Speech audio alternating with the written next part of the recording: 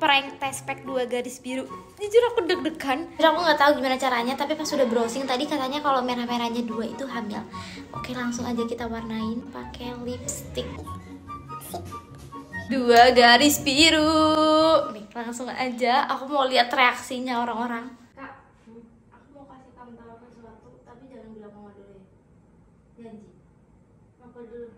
Janji dulu nggak? Apa dulu? tapi kita harus skip berdua Apa dulu? Ya kalau kamu bisa skip aku kasih tahu tapi kalau kamu nggak bisa skip aku nggak mau tahu gue dapat apa? Apa cepetan? ya Apa?